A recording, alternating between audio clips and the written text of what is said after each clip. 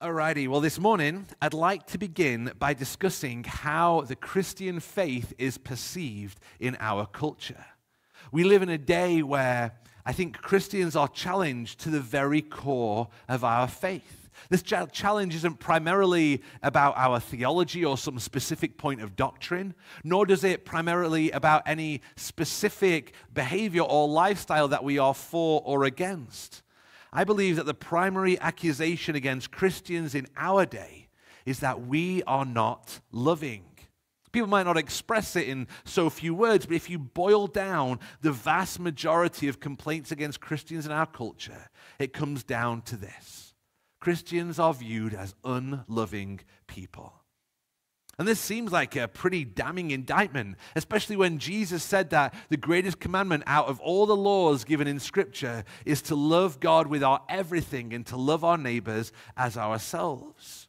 Those who are truly transformed by the power of the gospel should see an increase in their love for God and an increase in their love for others. And that should be evident to everyone around us. But yet, this accusation remains we're told that we are not loving and we need to be more loving like the world is. We need to be less judgmental and more accepting and more open hearted. How did the world become more loving than the church? Well, this is the topic we're going to be discussing today as we continue our series called One Point Wonders. And this series title is a play on the phrase one hit wonders, hence the album covers here on the stage. And those one hit wonders are those songs that you know that they get released they become absolute smash hits. Everybody's singing it, but yet that artist can't seem to get another break. Some of my favorites, Take On Me by a-ha. Take On Me. All you 80s people are, yeah. Uh, my dad's favorite, Come On Eileen by Dexys Midnight Runners. Come on, Eileen. Oh, some Come On Eileen fans out there.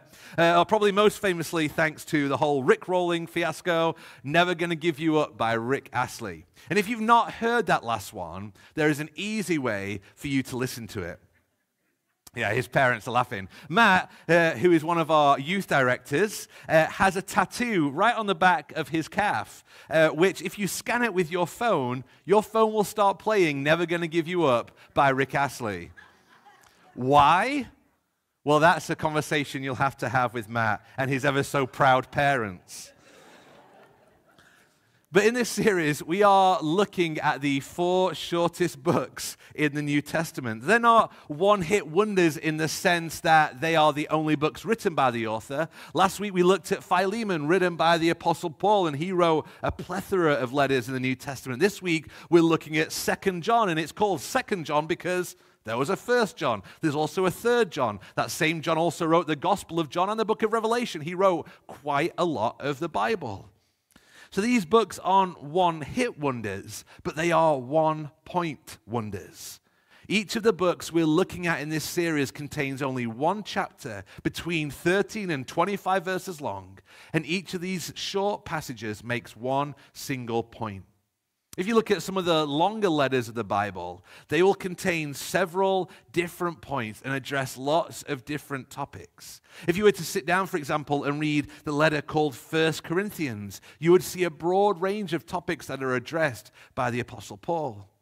But these shorter books were written to address just one single issue, just one simple point. But just because they're short doesn't mean that they are any less valuable. We truly believe that all scripture is God breathed and is useful for teaching, rebuking, correcting, and training in righteousness so that the servant of God may be thoroughly equipped for every good work. And this promise holds true for these short books of the Bible as well. They can be useful to us. They were included by God in his canon of scripture for a reason. And in this series, we're striving to figure out what that reason is and what that one point is in these wonderful short books. Last week, Jeff did an excellent job helping us to see the one point in Paul's letter to Philemon. We saw the importance of forgiveness and reconciliation in all of our relationships, especially with those people within the household of God. And this week we are going to be looking at Second John. So if you have a Bible with you or a Bible app, let me encourage you to open that up to Second John so that you have God's word in front of you. It's almost all the way at the back of your Bible so you can flick all the way through. If you've hit Revelation, you've gone too far. And like all the letters in the New Testament, we only get to listen to one side of the conversation.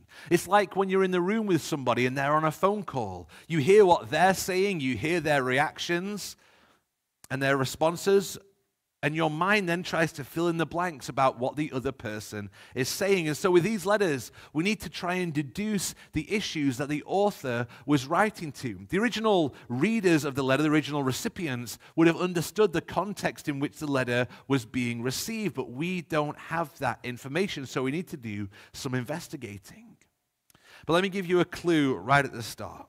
With John's second letter, he's writing to address one main issue and that is the heresy of Docetism.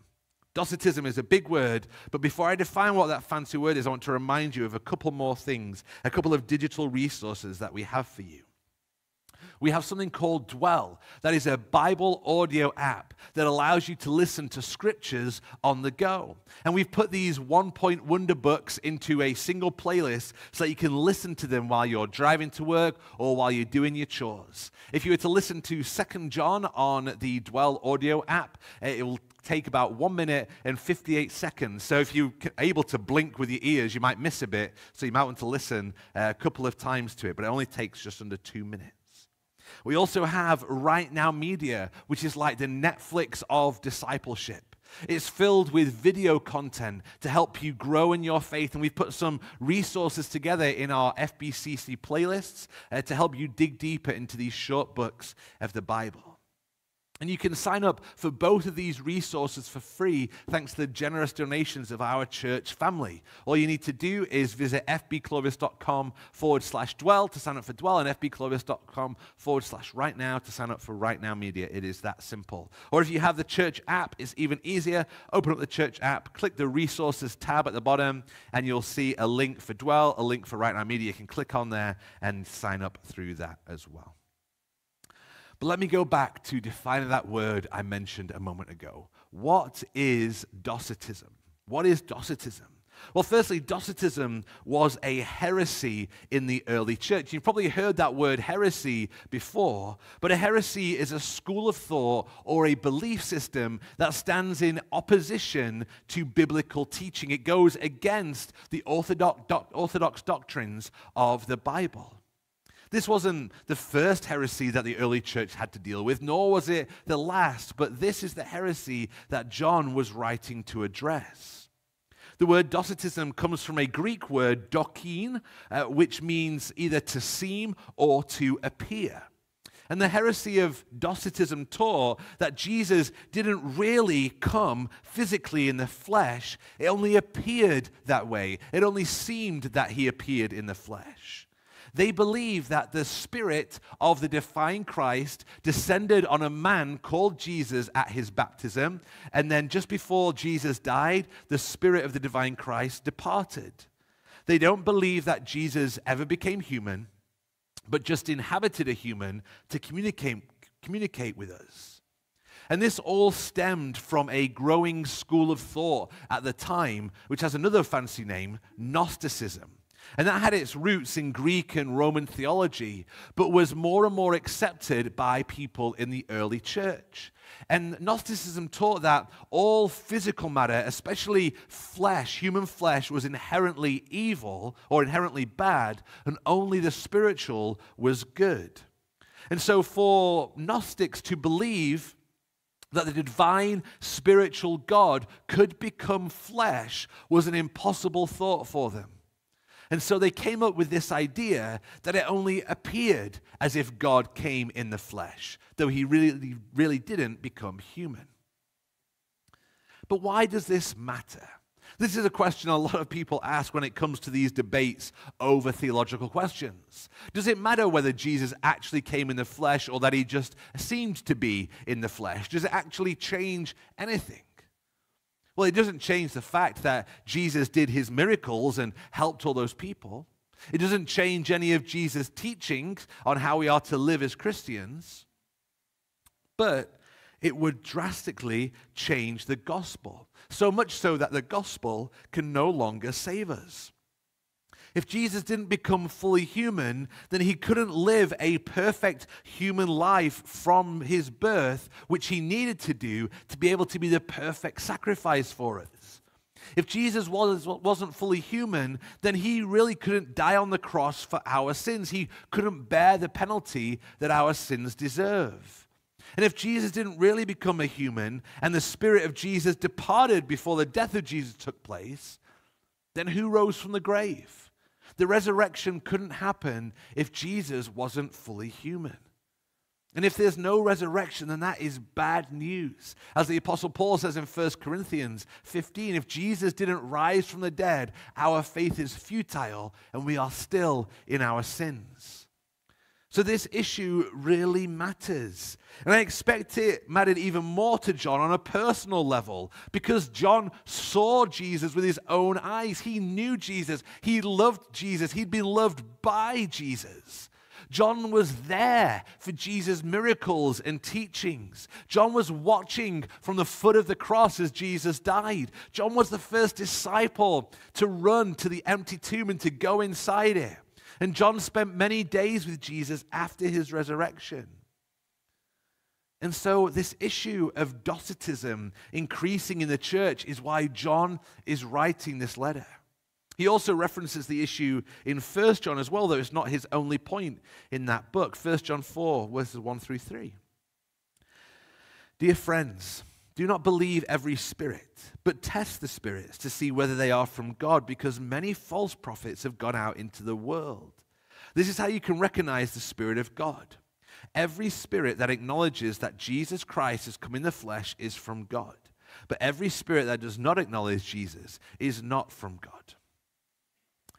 So that's the issue that John is writing to address. Let me read this short letter to you, and then we'll dig deeper into it. This is Second John. The elder, to the lady chosen by God, and to her children, whom I love in the truth, and not I only, but also all who know the truth, because of the truth which lives in us and will be with us forever. Grace, mercy, and peace from God the Father and from Jesus Christ, the Father's Son, will be with us in truth and love. It has given me great joy to find some of your children walking in the truth, just as the Father commanded us. And now, dear lady, I'm not writing you a new command, but one that we have had from the beginning. I ask that we love one another. And this is love, that we walk in obedience to his commands. As you have heard from the beginning, his command is that you walk in love. I say this because many deceivers who do not acknowledge Jesus Christ as coming in the flesh have gone out into the world.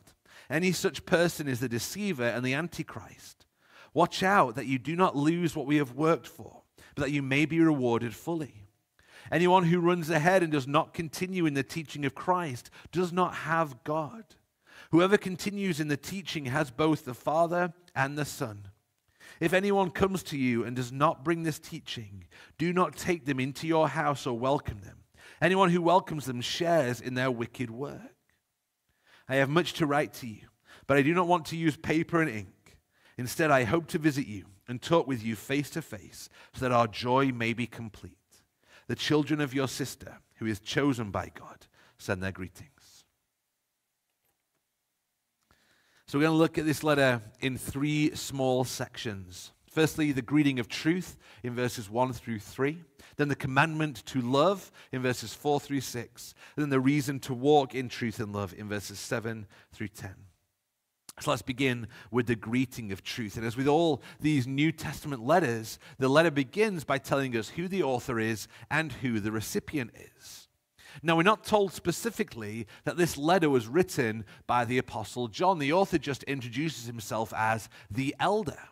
And the reason that we believe that this was written by John is because this letter had been quoted in very early Christian writings, about within a few decades of John writing it, and they all attributed the work and ascribed the work to the apostle himself.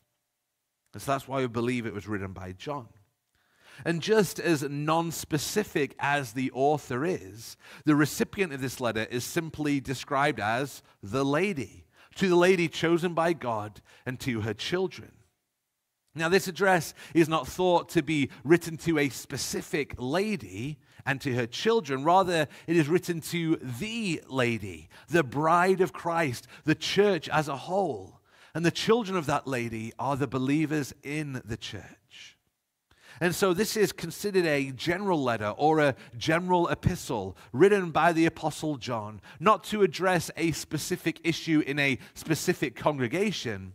Rather, this was written to address all Christians since this heresy of Docetism was spreading far and wide. But John clearly has an agenda right from the beginning of this greeting. Let me read the greeting to you again, and I want you to hear how many times he uses the word truth. I'll actually read verses 1 through 4.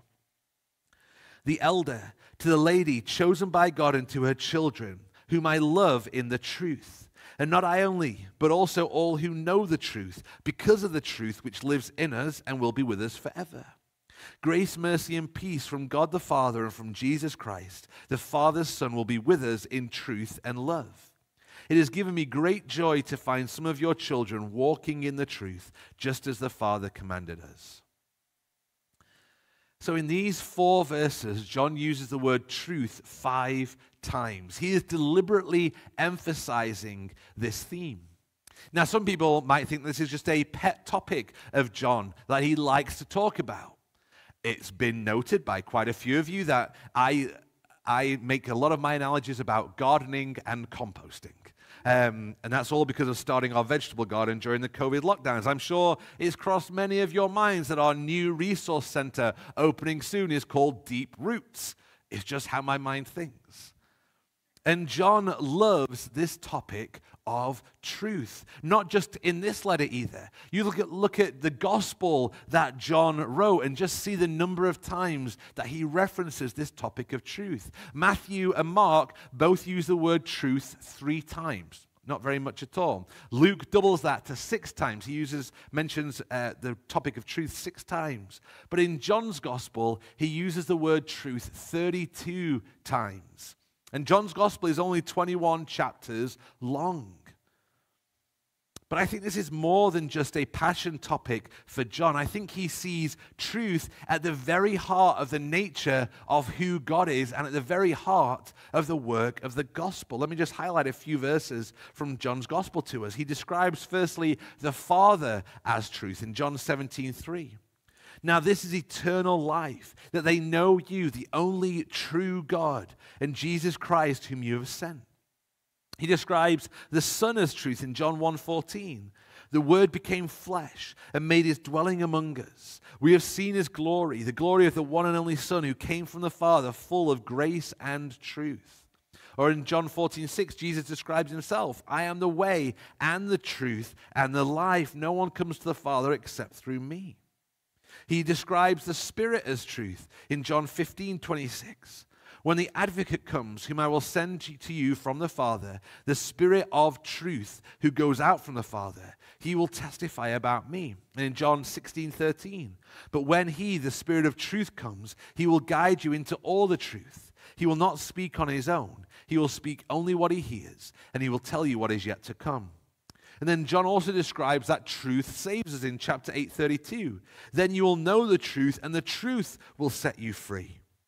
And he also writes that we grow or we're sanctified by truth in John 17, 17. Sanctify them by the truth. Your word is truth.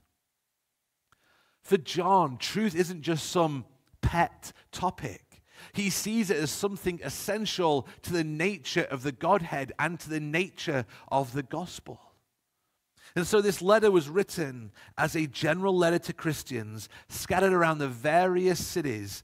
And John begins by emphasizing the importance of and his love for truth. But that's not his only emphasis in this letter. Let's now look at the second section, the commandment to love. And let me reread verses 4 through 6 for us. It has given me great joy to find some of your children walking in the truth, just as the Father commanded us.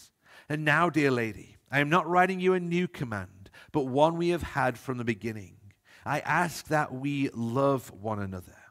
And this is love, that we walk in obedience to his commands. As you have heard from the beginning, his command is that you walk in love. And so the emphasis in these three verses shifts. He only mentions truth one time. But there are two words which he mentions three times each. Love is the obvious one, but the other one, other one is walk. That's why the album for the second John cover has this guy walking. It seems like a strange word to emphasize, but I think it really defines how we are to think about this topic of love. But we'll come back to that in a moment. John writes that he's not giving his readers a new commandment for them to follow. Rather, he's just re emphasizing and reminding them of the commandment that has been taught from the beginning of the church age, taught to them by Jesus himself, that we love one another. And Jesus gave this command in John 13. He says, A new command I give you love one another. As I have loved you, so you must love one another. By this, everyone will know that you are my disciples if you love one another. Earlier this year, we looked at this commandment in our 2 3 principle series, where we're looking at all the one another commands in the New Testament. And this one was we are to love one another as we think surpassingly of one another. But remember, Jesus says that this is his new command. This is different from the Old Testament command to love your neighbor as yourself. And this new this is a new command because the standard of the command has changed. Jesus doesn't command his followers to love one another in the way that we love ourselves. That standard isn't high enough. Rather, Jesus says that we are to love one another as he has loved us. Jesus' love for us is our standard for how we are to love one another, and that is a high benchmark standard to set. And that is the command that John is writing to remind the church of but he wants to define what that love is. And defining what love, what this love is, is the main reason why John is writing. And defining what love is is still a struggle in our culture and even in the church today. What does it mean to love? What does it look like for somebody to love somebody? What does it look like for us not to be loving? John doesn't define love as a feeling. He doesn't define it as acceptance or tolerance. He doesn't define it as affirming. He writes, and this is love, that we walk in obedience to his commands. Love is so much more than a feeling. Loving one another involves us living in obedience to all that Jesus commanded. When we live as Jesus calls us to live, that's when we are most loving to one another. And if we are disobedient to Jesus in any way, the result will be that we are not loving. And that goes for all our relationships. The most loving thing you can do for your spouse is to obey Jesus' commands and to grow in that obedience. The most loving thing you can do for your kids is to obey Jesus' commands and to grow in that obedience. The most loving thing you can do for your non Christian friend or coworker is to obey Jesus' commands and to grow in that obedience. And I think that's why John uses the word walk as a description for how we are to live. He says we are to walk in truth, we are to walk in obedience, and we are to walk in love. And I think this carries two connotations for us. Firstly, you can't walk by standing still. You have to move your feet. You have to take step after step. So it is with loving one another. We can't just stand still. We have to do something to love others. We need to obey Jesus' commands to love others well. And when you walk, you are going somewhere. You're headed to a destination. And so when we walk in love, we don't just want to keep going in a circle, not going anywhere, staying at our current level of love. Rather, we want to walk to our destination of loving more like Jesus did and growing in that love. And so, John has started this letter by emphasizing these two truths well, truth and walking in love. And in this final section, he gives us the reason for us to walk in truth and love. Let me reread verses 7 uh, through 11 for us. I say this because many deceivers who do not acknowledge Jesus Christ as coming in the flesh have gone out into the world. Any such person is the deceiver and the antichrist. Watch out that you do not lose what we have worked for, but that you may be rewarded fully. Anyone who runs ahead and does not continue in the teaching of Christ does not have God. Whoever continues in the teaching has both the Father and the Son. If anyone comes to you and does not bring this teaching, do not take them into your house or welcome them. Anyone who welcomes them shares in their wicked work. So, there, right at the beginning of verse 7, we get the key to understanding this letter. Just four words I say this because. And the reason John has started his letter writing about these emphasis, emphases of uh, truth and love is not just because they're nice topics to discuss. He's writing them for a reason. And that reason goes back to the heresy of Docetism that we spoke about earlier. There were people who were going out into the world and teaching that Jesus Christ didn't come in the flesh. Just like the Apostle Paul traveled from city to city, proclaiming the good news and planting churches, so these false teachers were going from city to city to these different churches that had been planted and teaching them that Jesus Christ didn't really come in the flesh. And John doesn't mince his words about these people. He says that they are deceivers and that they are the Antichrist. Now, hold on. John has just finished talking about how we are to be loving to one another. We are to love one another just as Christ loved us. And then in the next breath, he goes and calls people names. He calls them deceivers. He says they're tricksters and they're liars and that they are the Antichrist. He's saying the spirit of Satan is upon them. That doesn't seem very loving, does it? Instead of writing letters and calling people names, surely John could call people together for a conversation so they could listen to one another. Maybe put a, a, nice brunch on with some bagels and really hear where people are coming from and trying to find some common ground where they can work from together. But this is where we need to let the Bible define what love is instead of letting the world define what love is. And for John and for all of Scripture, love without truth isn't real love. Love without truth isn't real love. Love without truth is false love. Love without truth is deceptive love. Love without truth is satanic love.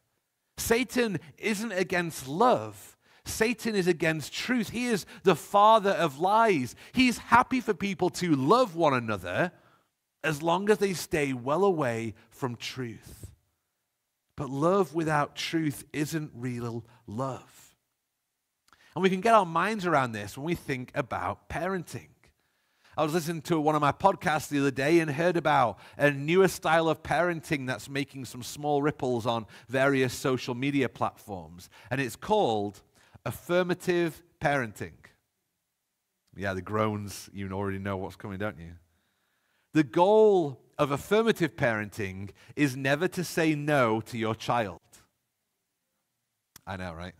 You always give them what they want to eat, you always let them do what they want to do, and you always let them go to bed when they want to go to bed. My kids were here for the first service, and they cheered at that point.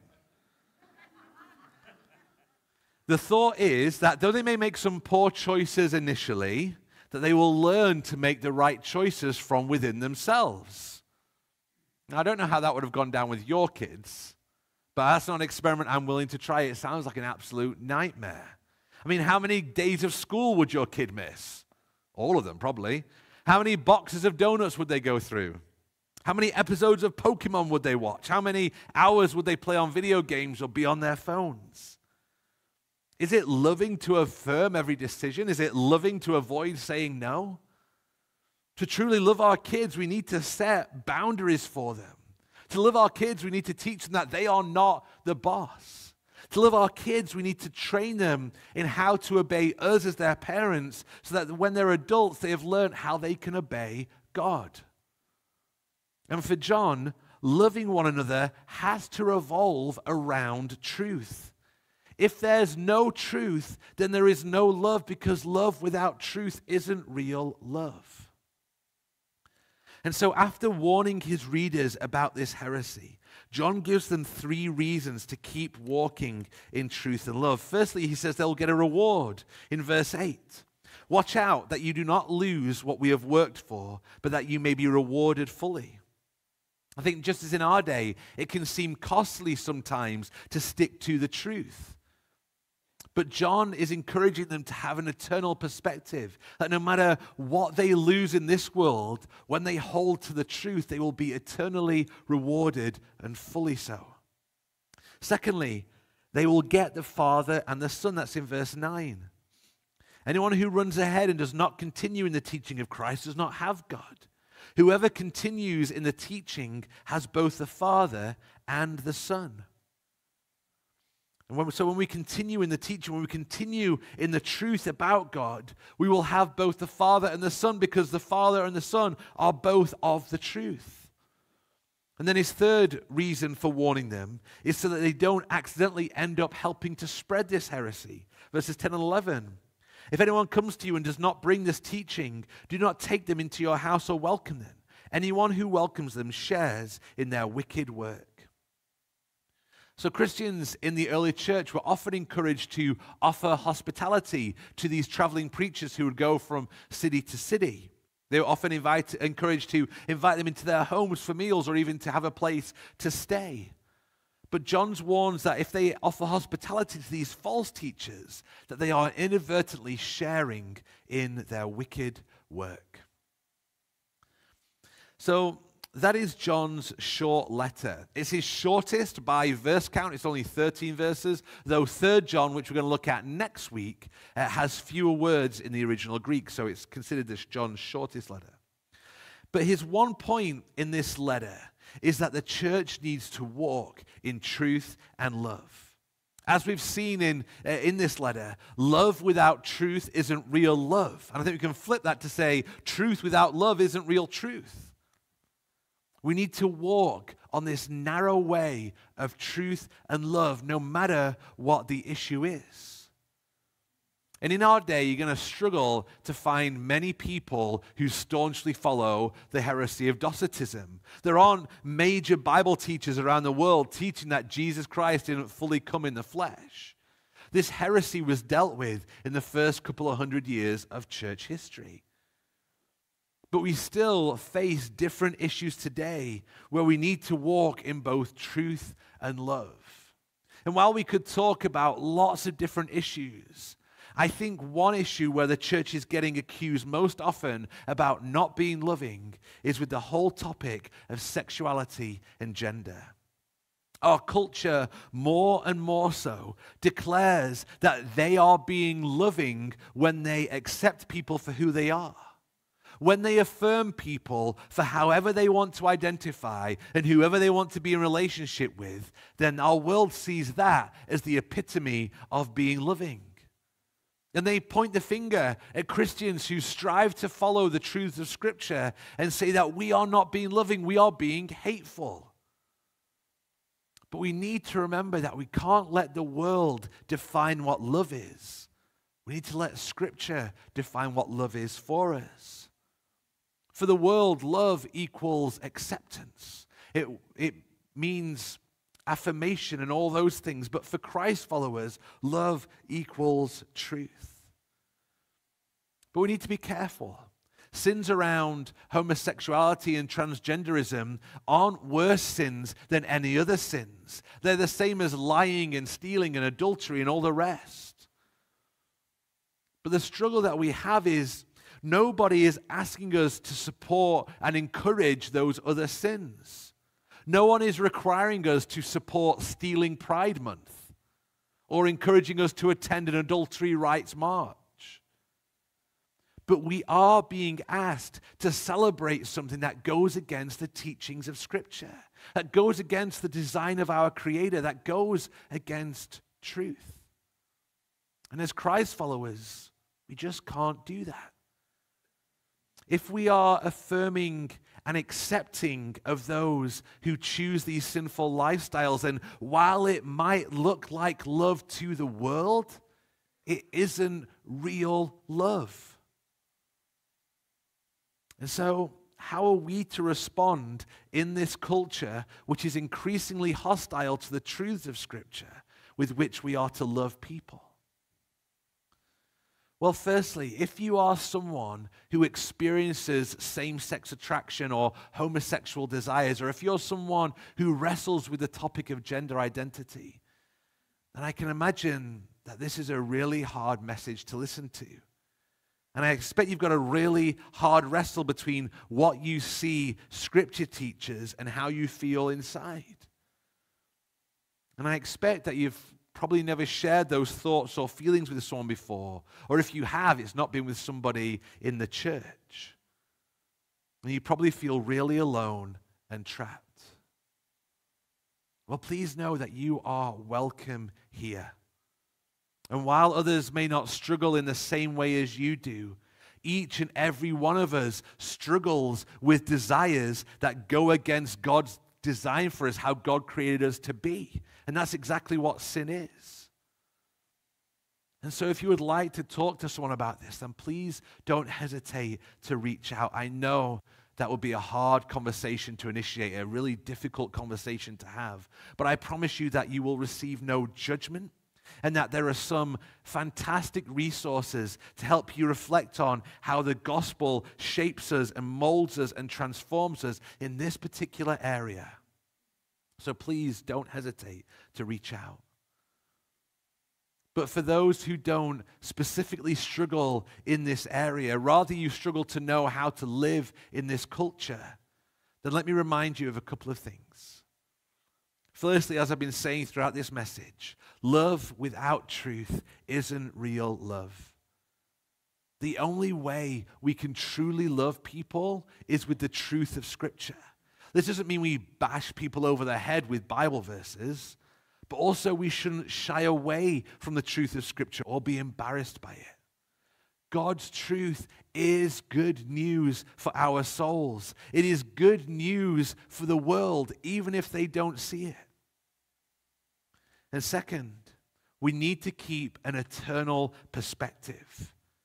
Depending on your work environment or the media that you listen to, this topic can seem overwhelming. And for some of you, there will be an increasing risk to stand on God's truth, to stand on the truth of God's word. It could cost you relationships, even, even with dearly loved ones, dear family members. It could cost you your job or your income. It could cost you your reputation. But John encouraged his readers to continue in the truth so that they will be fully rewarded. We need to keep eternity in mind so that the costs of following Christ in this world will be vastly outweighed by the reward that awaits us in his eternal kingdom. Let me pray.